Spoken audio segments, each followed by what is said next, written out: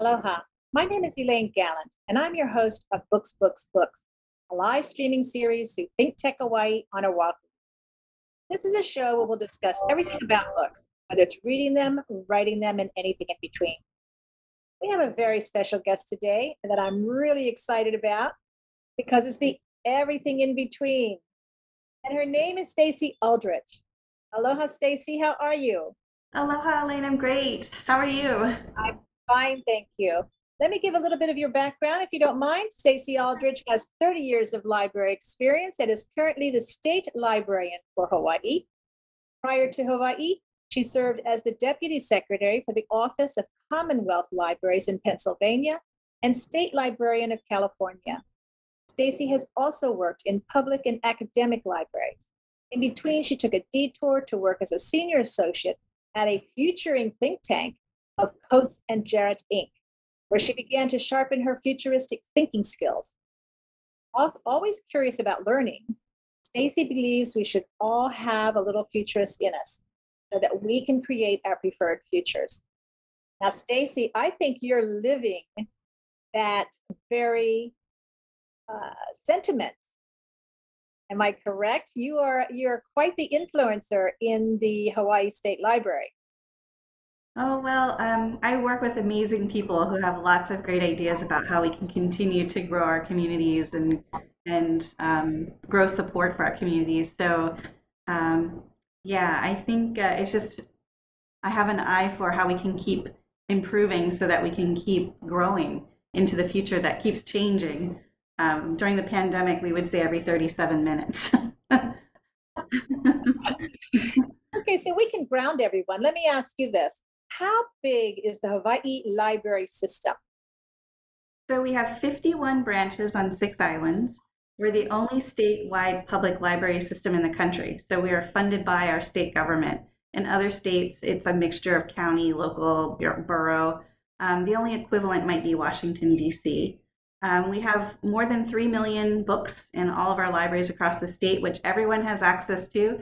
So if you find a book and that's in another library, you can uh, uh, request a hold and have it sent to your library and read it and then take it back to your library. Um, we have about 126,000 library cards growing, um, and we uh, now have an online uh, card that you can get to have immediate access to our digital resources. And we've had over 25,000 people sign up for that card. Um, and how do we get that card? Do we go to our library or do, can we do it online or how can we do that? You can just go to our website, librarieshawaii.org, and it's on our homepage. There's a button that says apply for a library card now. And it'll um, ask you a few questions, and then it'll send you a, a, a number, and you'll have a PIN, and you can immediately access all of our digital resources. That's fantastic. And not only digital, but we're going to talk about what everything is in there. I I am I am shocked and surprised by what the library system offers. Um, let's i want to know how is the library system keeping up with the times? You know there's there's competition out there. There's amazon and netflix and newspaper subscriptions and there's so much at our fingertips that we can google you know or or yahoo or, or whatever your medium is. But how so how is the library keeping up with this competition that's out there? When your library card is your fee to everything. And the library card is how much? Uh, zero dollars. zero dollars, um, and you have access to a world of information um, and ideas. Ideas. So when we think about Amazon, when we think about um, all the other um, vendors who sell books or um, movies, I'm sorry, we have a, a car coming by for a second there. Um, we have um, those are all behind paywalls, so you have to have money in order to access access them. When we think about a public library, a public library is about access for everyone, no matter who you are, no matter what your your state of um, funding is um, or where you come from. The library is there for you. So with just a library card that's free, you can access the LA Times, the New York Times online. So you can do the same things you're doing right now, but you can access them through the library with your library card. You can access streaming movies through Kanopy. You can access ebooks. So many of us um, download ebooks from Amazon um, and we pay to buy every book, um, you can use the, the resources at the public library, the electronic resources. So you have ebooks, e audiobooks. I like to listen to e audiobooks. Um, e magazines, um, we have Press Reader, which is over 6,000 magazines um, that are from around the world. So if you want to read Le Monde, but you don't speak French, you can actually translate it into English and, and read Le Monde. So we have all these resources that are available to everybody with just a library card. And if you don't have internet access at home, you can always come into the library and access all of these resources as well. Yes, I, I don't think people understand how vast the, the system is, that the data that's available, the services that are available. So let's talk about that. You mentioned um, that you're saving people money with over a hundred, or was it a thousand, vetted databases? The, over a hundred databases. Over a hundred. Da- Can you talk about those databases? Sure. Um, it's all kinds of databases. We think from Keiki, it's National Geographic. So if they're doing a report on elephants, they can find information about them and images they can use in their PowerPoint because we know young kids are doing all kinds of fun. They're learning very early how to do presentations. So they have copyright free access to those images.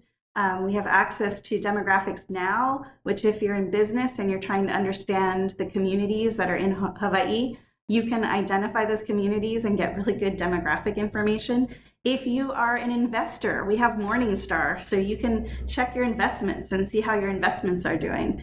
Um, and then if you just like hobbies, we have a hobby database, so you can find access to more articles or ideas on how to crochet new things or um, make something new. So we have a little bit of everything um, which I think sometimes is the, the daunting thing is there's so much. Where do I start? Um, we also have access to legal forms. So if you're not sure uh, what forms you need to fill out, if you're having issues with um, renting or other kinds of legal issues, we also have access to those kinds of resources. And if you're looking up an old article about something or you're just curious about something and you want to know more about a particular topic, you, we have um, access to magazine databases and also um, journals like um, professional academic journals. JSTOR um, is one of those databases. So if you want to find peer-reviewed uh, research, you can look that look up whatever topic you're looking for in JSTOR. Right. So, that would have been so helpful when I was taking journalism because uh, mm-hmm. I had an awful lot of paid prescriptions that I wouldn't have had to pay for as a, as a, a college student. But you have more than that too. If we could, if we could pull up the graphic that shows the front page, the front page of your website, mm-hmm. and then we can go through that real quick because you have music, you have community services, you have so many things. So if we can see that graphic, do we have that graphic? Now we have a, a lot of resources. We have a new resource um, uh, called Artist Works it's available through our Libby app that you download to your phone to um, download ebooks and e-audiobooks.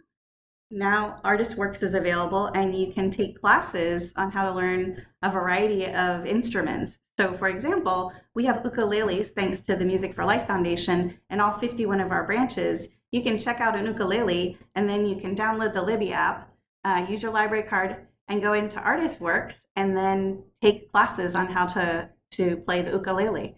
So uh, full circle, and you can do it at home, all from the convenience uh, where you want to be, or on the beach, wherever you want to be. and you have Overdrive as well. Is that correct? Um, yes, Overdrive is actually uh, the same service. Libby is just the name of their app to access the ebooks, but Overdrive is the company that provides the ebooks and Artist Works. Um, and um, they've also just purchased um, Kanopy, which are the streaming videos. So we'll start to see more integration of those videos as well. Yes, and those are those are uh, top films. They are. They're award-winning films. There's documentaries. You can also take a great course. And for um, for our Keiki, there's um, just pure um, Kanopy for kids, which are all um, great programming with Sesame Street and books being read and just high quality learning opportunities. Mm-hmm. I took a little trip through Kanopy and I was surprised at the movies that were there. Awesome. Um, and there and, and I saw some that I hadn't seen on Netflix. So I'm really looking forward to exploring that with my library card, which I've had forever and have seriously underutilized and will not in the future. well, I have to say, so there I was watching um let's see, I was watching something on Hulu and I couldn't I watched it on a plane and I didn't have access to Hulu.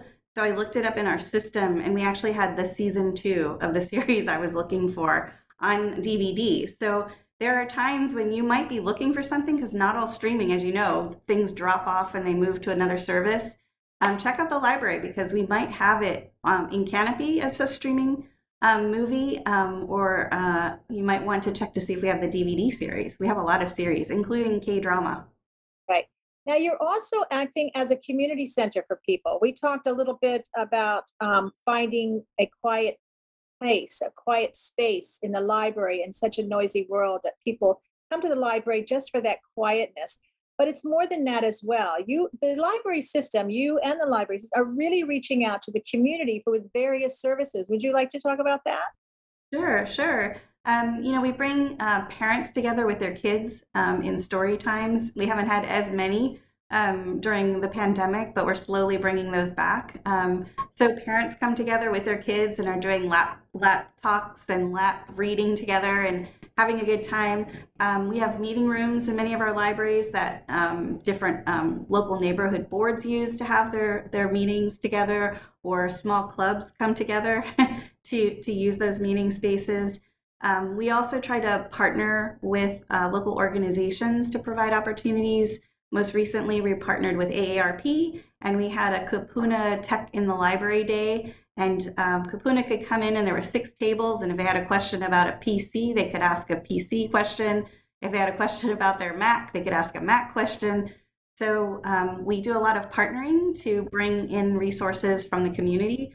So again, a gathering place for finding more information, for talking with their friends. We've had great, we do great talks where we bring in authors, or we might have a, a particular subject. We've done partnerships with um, Civil Beat, and we did a whole series on information and information age. Um, how do we how do we thrive when there's so much information? And I think we had three or four of uh, those sessions, and had anywhere between 40 to 70 people show up who wanted to have a conversation about you know how do we thrive in uh, you know information glut. So the library really is that place to gather and have conversations and to learn and to um, be together. Does the library have a book club? Kind of a um, question, but does it have a book club? many of our branches do. And if you go to our website and you click on the, uh, there's a little link at the top that says read. If you click on that, you can find uh, which libraries have book clubs. We have some virtual book club book clubs, and I think we're just starting to come together in um, in real life.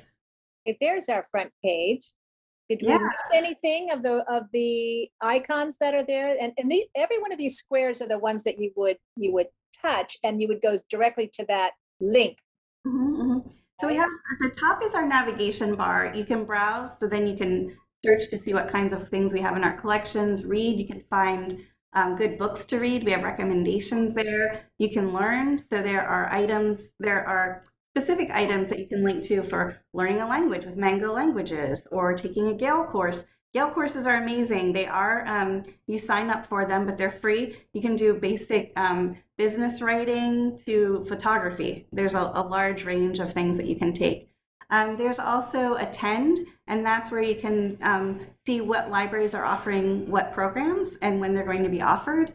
And then we have Research, which that's really where all of our databases live. So you can um, look to see what kinds of um, information uh, we have it by subject, so you could look to see well what what kinds of things do you have related to genealogy, which of course is looking to um, research scholarships. How uh, you have a way of doing that as well, correct? Um, we have a way to uh, look for scholarships, take SATs, be prepared, and that's all under. If you go under Learn, um, there's uh, the Teaching Resource Center that has a lot of resources for students um, who are preparing to go for, to college. And people who are who need assistance paying their rent in learn in, in in trying to navigate the system in order to find ways to help paying their rent. You, I mean, this is how far the library goes, right? With paying your rent, you probably uh, we'd probably stop and ask a librarian who might be able to ask more questions about what it is you're actually um, looking for and seeing what resources we could connect you to um, within the community. Absolutely. Mm-hmm. You sent me a oceans of possibilities. Would Would you like to share that with our viewers? Absolutely. And if we could see the graphic on that, that would help as well too. Awesome. Thank you. Yeah, we're really excited. We have our summer reading challenge this year, Ocean of Possibilities. And again, it's a, a virtual program that you can participate in by downloading a, it's called the Beanstack app on our website. There's more information and a link um, so you can find more, uh, find that Beanstack app.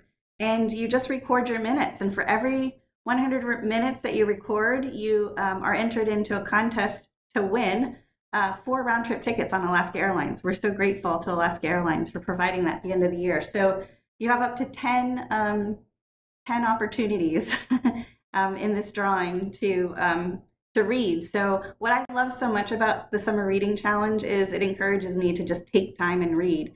And the new Beanstack app is so super simple. You just when you uh, open it up, you can say you want to add mere minutes, and you can um, basically click and it'll record your minutes. And when you're done reading, you stop and you don't have to like type in how many minutes you read. So it makes it super simple, and um, you can do it on the website. Yeah, and you can do it with the whole family, which is really exciting. And so if you join, there's also some fun uh, giveaways and rewards for reading um, at our libraries as you as you read throughout the summer. We've talked a lot about uh, some of the wonderful programs that the library has, but what challenges does the library face today? Our biggest challenge right now is we want to do more and we want to have more hours um, but staffing is always a challenge for us. I think as a, a system of 51 libraries, um, we don't have as many staff as we really do need. And the pandemic, like has it has impacted a lot of of our organizations across the state, has impacted the library as well. So I think our biggest challenge is um, having the funding to make sure that we have the resources to keep supporting our communities and growing with our communities um, um, every year. We do have a question from Sarah Foley about, Sarah Foley about the funding. She says, uh, there, this is in our chat, there's about 2 billion in Hawaii's general funds where our library system will benefit. How much do you think will be allocated? How will it be spent? Um, for for our library system, um, you know, the budget hasn't been um, signed yet by the governor, um, but the current um, legislation from the uh, legislature um, has provided us with funding to do a project to put RFID in our libraries, which means we can better manage our resources across the state and our um, our patrons will have easier access to checking items out um, and and um, and sharing those items with each other. So we have um, we have an RFID project coming up. So we're getting about three million dollars to do that project for all of our libraries. If you're interested, our Nanakuli library is our first library that we've done RFID. And what's really cool about RFID is instead of having to like check out one thing at a time by barcode, you can basically put a whole stack of books on a on the stand and it just checks them all out at once. So it's it's quite nice and it makes it nice and zippy for our um, patrons to come in and grab books and leave. Um, we also are going to be getting some more money for security. We have about 11 libraries that we've had some challenges with, and so we want to improve um, security by putting cameras outside. Um, so we did get about a million dollars for that and to improve our security in, in all of our libraries. And then um, we're very excited and grateful to the legislature for providing, putting in more money for our um, budget for our materials. So um, we're getting an additional 750,000, so we'll have 1.5 million dollars to go just towards materials. When I first got here, we didn't have anything in our materials budget. We were relying entirely on our special fines and fees to buy, but to buy materials. So if you were a patron and staff were saying pay your fines and fees, that's how we, we get books. That really was the only way. But when we think about uh, the investment that we make in our statewide public library system, our collections are vital to making sure people have access to information. So we're very excited because we'll now have this base of 1.5. We still need more, but it's, Yes. start. Yes, I understand on Maui that Friends of the Library is treated a little differently than Friends of the Library on the other islands, and and they are actually able to contribute quite a bit of money to the libraries as well. If it's not money, it's furniture or or volunteers and things like that. So that's another venue. Mm-hmm. Uh, Susan Armstrong has a beautiful compliment. She says, "Please tell Stacey how stoked I am that they are offering free music instruction on their website." Yay, that's awesome. taking advantage of it. That's awesome. And again, it's not right. It's not quite yet just by the website. You do have to download the app. Um, Overdrive is working on integrating it into the website, but currently it's just through Libby. So yeah, but I'm excited. Susan Armstrong has apparently found a way to take advantage of it. She's very happy with it. Yay! Here's another question from Malia Boland. Uh, um, it's really not a question. She says, Stacey was very helpful to me when I reached out about getting my book into the library, and her the name of her book is Left at he, uh, at Hiva Oa, I believe. Please ask her to talk about this process. Sure. Yeah. Um, so we're always excited to take a look at um, what authors are publishing to see if we can add them to our collection. So we do have a collection development policy, and we use that to determine what books come into the collection. And so if you have a book that you would like to add to, to our collection or make us aware of, um, you can send it to my offices and then I send it to the library staff who then do a review and evaluation and then um, make the determination of adding it to the collection. Mm-hmm. Well, as an author, you're making my heart sing. And and I, also mentor a writers group, so I know they're listening, and they're and, and they're probably in the chorus somewhere too. So that's very exciting. Uh, okay, what does the future for our library system look like, Stacey? Where are we going? You know, I, I think about um, my favorite quote. I've been using it a lot recently, which is from um, Alvin Toffler, which is the um, illiterate of the future will be not will not be those who cannot read and write, but those who cannot learn, unlearn, and relearn. And I really feel like the future of our libraries are these learning centers where people will have access to information, ideas, classes that continuously help our entire state um, from Keiki to Kupuna, learn, unlearn, and relearn, so that we can keep creating our positive um, preferred futures for our state. So, being that resource um, to learn, grow, and to connect with one another. And this is tapping into your futuristic ideas that you're keen on. So, this all sounds pretty fantastic.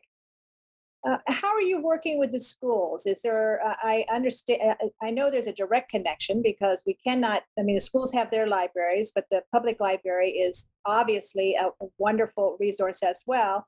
How involved in the school public school system are you? Um, we um, we do work with the the school uh, media um, staff, and our our collections are connected um, for the students. So students download what's called the Sora app, um, and they have access to all of our collections through that app. So we try to make those connections. Um, we work with the, the school libraries to also make sure they're aware of all their resources and that their students know what resources are available in our libraries. Um, I am concerned there are many schools that don't have school libraries. And so um, we're constantly looking for new ways to make sure that those students know that there are resources for them so to support their learning. Um, and um, we're always continuously looking for new ways to support the curriculum that's being taught in the schools to make sure that we can um, help students who are coming in after school find the resources that they need that will help them grow their literacy skills or um, are there resources that can help them do their research um, so that they can be successful in their classes that they're taking. So this outreach that you're doing to the schools, is it also physically as well as uh, uh, through the internet for students? Are the representatives of the state library going into schools and encouraging? Um, uh, pre-pandemic, we had many um, of our libraries um, in across the state going into the local schools and um, talking with the uh, the students about what resources were available and inviting them in. So I'm hoping as we are um, fingers crossed, coming out of the pandemic, um, we'll be able to do more of that and make those physical connections with with the students. Yeah, the pandemic has really really knocked us off our loop. Stacey, what is your message to our listeners as the head librarian for the state of Hawaii? Well, I think my main message is if you haven't walked through the virtual or the physical doors lately, I invite you to come to any one of our libraries uh, or come to our website, get an electronic card, try out all these amazing resources, and let us know what services are important to you or what kinds of services you would like to see more of. We have a feedback form that you can always send us more information. Um, we're also going to be doing a strategic planning process soon, and we're going to have a survey out. Uh, we want as many people as possible to give us feedback about the kinds of things they use in libraries or the kinds of things they would like to see us um, pay attention to and, and, focus our energies on. So we really just want to invite everybody in just, um, you know, our website says it's where you belong, and we want everybody to feel like they belong at their public library, no matter where they are in the state of Hawaii. Well, Stacey, you're a joy, and I think you're a real asset to the library. During your tenure with the library, what do you hope your legacy to be? Um, I really do hope that you know we we continue to be that place that can connect people in a world where technology seems to connect but also disconnect us so easily that the library can continue to be that place that connects us in both ways um, and continues to, again, help people learn, unlearn, and relearn so that they can feel good about um, whatever they're trying to do in life, in work, in play, in hobby, that they know that the library is that place where they can find a person who can help them. They can do it by themselves online, um, or um, they can come together with their their colleagues and their neighbors and learn from each other. So I think the library has always been a little bit of that. It just depends where you live. Um, but I think it will continue to be that place. And I, I really hope everybody will come in and help us continue to build that future. With you, I hope they do too. Stacey, you're the head librarian. What's on your bedside table? What book are you reading? Uh, right now, I'm reading The Vikings. I've been watching a lot of um, Viking series. I've been streaming a lot of Viking series. Uh, so I'm reading a, a, a, history book about the Vikings, and I also have a book about. Um, uh, I'm. It's, it's, a red cover. I'm like everybody else. it's a red cover. Um, it's it's a book about um, conflict, deep conflict, and how do we get past deep conflict um, from a cultural from a cultural sense and from the very basic sense of just disagreement. And so, um, yeah, I I have a lot of things on my nightstand, but those are the two. Yeah, you have access to everything in the world to read. In closing, I would like to thank you for joining us today. And I must thank our underwriters, our technicians, our office staff, our producer, Jay Fidel, our listeners. Thank you so much for, for spending an, uh, 30 minutes with us. We so appreciate it. I hope you've learned something more about the library. And if anything, I hope I hope you say hello to Stacey. She's a fantastic asset for us. Thank you so much, Stacey. Aloha and mahalo.